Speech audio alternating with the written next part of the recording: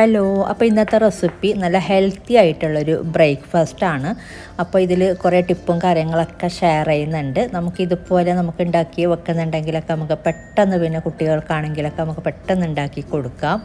അപ്പോൾ നമുക്ക് റെസിപ്പിയിലോട്ട് പോവാം. അപ്പോൾ ഇതിന് വേണ്ടിയിട്ട് ആദ്യം വേണ്ടത് മൂന്ന് കപ്പ് ഓട്സ് ആണ്. അപ്പോൾ ഇതൊരു ബ്ലെൻഡറിലോട്ട് ഇട്ട് കൊടുക്കാം. നല്ല ഹെൽത്തി ആയിട്ടുള്ളൊരു വിഭവം തന്നെയാണ് കേട്ടോ ഇത്. കുട്ടികൾക്കൊക്കെ കൊടുക്കാൻ ഏറ്റവും നല്ലതാണ്. ഇനി ഇതിന്റെ കൂടെ നമ്മൾ ചേർത്ത് കൊടുക്കുന്ന പഴമാണ്. ചെറുപഴമായതുകൊണ്ട് നാലെണ്ണം ചേർക്കാം. ഇതിപ്പോൾ ഈ ഒരു സൈസിലുള്ള പഴമാണെങ്കിൽ മൂന്നര ചേർത്ത് കൊടുത്താൽ മതി. കുറച്ച് നല്ല വലിയ സൈസിലുള്ള ചെറുപഴമാണെങ്കിൽ മൂന്നര ചേർത്ത് കൊടുക്കാം.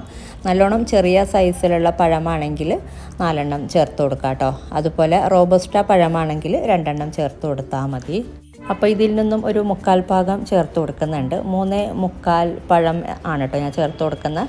ചെറുപഴത്തിന്റെ കണക്ക് നാല് പഴം എന്ന രീതിയിലാണ്. പിന്നെ കുഴപ്പമില്ല. നാലെണ്ണം നമുക്ക് ചേർത്ത് കൊടുക്കാം. സൈസ് കുറച്ച് വലുതാണെങ്കിലും. പക്ഷേ പഴം കൂടുതലാവുമ്പോൾ പഴത്തിന്റെ ടേസ്റ്റ് തന്നെയായിരിക്കാം മുന്നിട്ട് നിൽക്കുന്നത്. ചെറുപഴത്തിന്റെ കണക്ക് നാല് പഴം എന്ന രീതിയാണ്. റോബസ്റ്റ പഴം രണ്ടാണ് കേട്ടോ. ഇതിപ്പോൾ ഞാൻ നാല് പഴവും കട്ട് ചെയ്ത് ഇട്ട് കൊടുത്തിട്ടുണ്ട്. മൂന്നേ മുക്കാൽ പഴം. പിന്നെ ഇനി ഇതിലോട്ട് വേണ്ടത് നാല് മുട്ട. അപ്പോൾ നാല് മുട്ടയും കൂടെ പൊട്ടിച്ച് ഒഴിച്ചു കൊടുക്കുക അപ്പോൾ നാല് മുട്ടയും ചേർത്ത് കൊടുത്തിട്ടുണ്ട്. ഇനി ഇതിലോട്ട് വേണ്ടത് പാൽ. സാധാ പാക്കറ്റ് പാലാണ്. ഒരു കപ്പ് പാലാണ് കേട്ടോ ചേർത്ത് കൊടുക്കുന്നത്. പിന്നീട് നമുക്ക് നോക്കിയിട്ട് വേണമെങ്കിൽ പാൽ അല്ലെങ്കിൽ വെള്ളം ചേർത്ത് കൊടുക്കാം. ഇനി ഇതിലോട്ട് വേണ്ടത് മെൽറ്റ് ചെയ്തിട്ടുള്ള ബട്ടറാണ് കാൽ കപ്പ് ബട്ടറാണ് ചേർത്ത് കൊടുക്കുന്നത്. ഇനി ഒരിച്ചിരി പട്ട പൊടിച്ചത് ചേർത്ത് കൊടുക്കുന്നുണ്ട്. ഫ്ലേവർ ഇഷ്ടമാണെങ്കിൽ ചേർത്ത് കൊടുക്കാം. ഇല്ലാന്നുണ്ടെങ്കിൽ വനില എസൻസ് ചേർത്ത് കൊടുക്കാം. പിന്നെ പാകത്തിനുള്ള ഉപ്പ് ചേർത്തിട്ട് നമുക്കിതൊന്ന് ബ്ലെൻഡ് ചെയ്തെടുക്കാം.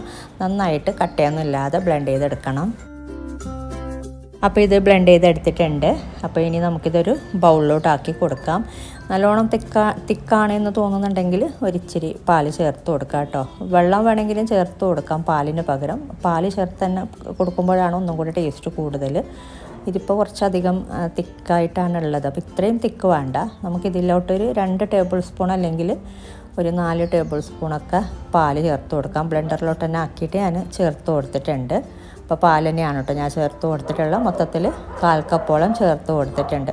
പാൻ കേക്കൊക്കെ ആ ഒരു പരുവ് തന്നെയാണ്. പാൻ കേക്ക് തന്നെയാണ് കേട്ടോ ഇതിന് ഉണ്ടാക്കിയെടുക്കുന്നുള്ളത്. നല്ല ഹെൽത്തി ആയിട്ടുള്ള ഒരു പാൻ കേക്കാണ് പഴവും ഓട്സും മുട്ടയും ഒക്കെ വെച്ചിട്ട്. അപ്പോൾ ബാറ്റർ റെഡി ആയിട്ടുണ്ട്. നമ്മൾ സാധാ ദോശയൊക്കെ ഒഴിച്ചു കൊടുക്കുന്ന ദോശയിൽ പാൻ കേക്ക് പോലെ. അപ്പോൾ ഈ ഒരു രീതിയിൽ തന്നെയാണ് വേണ്ടത്. ഇനി ഞാനിതൊരു കണ്ടെയ്നറിലാക്കി വെക്കുന്നുണ്ട്.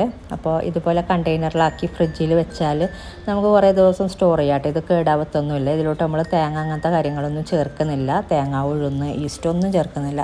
നമുക്ക് കുറേ നാളിത് സ്റ്റോർ ചെയ്യാം ഫ്രിഡ്ജിൽ. എന്തെങ്കിലും ഒരു നാല് ദിവസമൊക്കെ ഞാൻ വെക്കാറുണ്ട്. ഇങ്ങനെ ഉണ്ടാക്കി. അപ്പോൾ ഇങ്ങനെ വെക്കുന്നുണ്ടെങ്കിൽ രാവിലെ ആണെങ്കിലും രാത്രിയോ അല്ലെങ്കിൽ വൈകിട്ടൊക്കെ നമുക്ക് വേണമെങ്കിൽ നമുക്ക് പെട്ടെന്ന് ഉണ്ടാക്കിയെടുക്കാം. ചെറിയ കുട്ടികളൊക്കെ ഉള്ളവരാണെങ്കിൽ ഒന്നും കൂടെ നല്ലതാണ്. രാവിലെ അല്ലെങ്കിൽ വൈകിട്ടൊക്കെ ഉണ്ടാക്കിയെടുക്കാനായിട്ട്.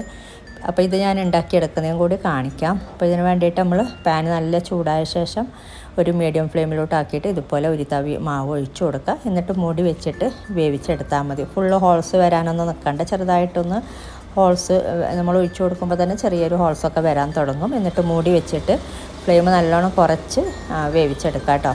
ഒരു സൈഡ് വെന്ത് വരുമ്പോൾ മുകൾ ഭാഗമൊക്കെ ഡ്രൈ ആയി വരുമ്പോൾ ഒന്ന് തിരിച്ചിട്ട് കൊടുത്താൽ മതി. ഈ ഒരു സമയത്തൊക്കെ ഫ്ലെയിം ഒരിച്ചിരി കൂട്ടാം.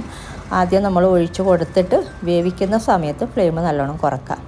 ഇതിപ്പോൾ ആയിട്ടുണ്ട്. അപ്പോൾ ഇത് നമുക്ക് മാറ്റാം. അപ്പോൾ കണ്ടില്ലേ? നല്ല അടിപൊളിയായിട്ട് നല്ല ഹെൽത്തി ആയിട്ടുള്ള ഒരു പാൻ കേക്കാണ് അപ്പോൾ ഈ ഒരു രീതിയിൽ ഉണ്ടാക്കിയെടുത്താൽ മതി. ഇനി നമ്മൾ രണ്ടാമത് ചുട്ടെടുക്കുന്ന സമയത്ത് ഫ്ലെയിം ഒന്ന് കൂട്ടി വെക്കുക എന്നിട്ട് ഒഴിച്ചു കൊടുത്ത ശേഷം ഫ്ലെയിം മൂടി വെച്ചിട്ട് ഫ്ലെയിം കുറച്ചാൽ മതി. ഈ ഒരു രീതിയിൽ ഓരോന്നും നമുക്ക് ആവശ്യാനുസരണം ചുട്ടെടുത്താൽ മതി.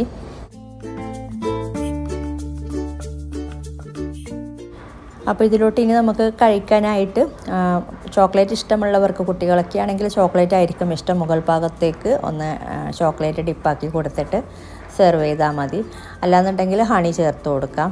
അല്ലെങ്കിൽ നിങ്ങൾക്ക് മധുരം വേണ്ടാന്നുണ്ടെങ്കിൽ കെച്ചപ്പ് വേണമെങ്കിലും ചേർത്ത് കൊടുക്കാം. ഇതും ഇതിന്റെ കൂടെ നല്ലൊരു കോമ്പിനേഷനാണ് നമ്മൾ ഇതിലോട്ട് പഞ്ചസാരയൊന്നും ചേർത്തിട്ടില്ലല്ലോ. പഴത്തിന്റെ മധുരം മാത്രമാണ് അപ്പോൾ ഇതിലോട്ട് നമുക്ക് വേണമെങ്കിൽ മധുരം വേണമെന്നുണ്ടെങ്കിൽ ഒരിച്ചിരി മധുരം ഇതുപോലെ ചോക്ലേറ്റ് സോസാണ് ഞാനിപ്പോൾ ഇതിലോട്ട് ഇതുപോലെ ഡെക്കറേറ്റ് ചെയ്ത് കൊടുക്കുന്നത്. നല്ല കോമ്പിനേഷനാണ് ഇതിന്റെ കൂടെ ചോക്ലേറ്റ് സോസ് ചോക്ലേറ്റ് ഗനാശയും നമുക്ക് കേക്കിനൊക്കെ യൂസ് ചെയ്യുന്ന നമ്മൾ ഉണ്ടാക്കുന്ന ചോക്ലേറ്റ് ഗനാശയും ഇതുപോലെ നമുക്ക് ഇങ്ങനെ മുകളിലോട്ട് ഇട്ട് കൊടുക്കാം കേട്ടോ അങ്ങനെ ചെയ്യുമ്പോൾ നല്ല ടേസ്റ്റ് തന്നെയാണ്. സെയിം തന്നെയാണ് ഈ ഒരു ചോക്ലേറ്റ് സോസും ചോക്ലേറ്റ് ഗനാശയും അപ്പോൾ ഇതുപോലെ ട്രൈ ചെയ്യാത്തവർ ഇതുപോലെ തന്നെ ഹണി വേണമെങ്കിൽ ഹണി ഇതുപോലെ ഇട്ട് കൊടുത്തിട്ടും സെർവ് ചെയ്യാം കേട്ടോ. അപ്പോൾ നല്ല ഹെൽത്തി ആയിട്ടുള്ള ഒരു ബ്രേക്ക്ഫാസ്റ്റാണ് അപ്പോൾ ഈ ഒരു രീതിയിൽ ട്രൈ ചെയ്യാത്തവർ ട്രൈ ചെയ്ത് നോക്കിയിട്ട് നിങ്ങളുടെ അഭിപ്രായങ്ങളൊക്കെ അറിയിക്കുക. പിന്നെ നല്ലൊരു റെസിപ്പിയുമായിട്ട് മറ്റൊരു വീഡിയോയിൽ കാണാം. താങ്ക്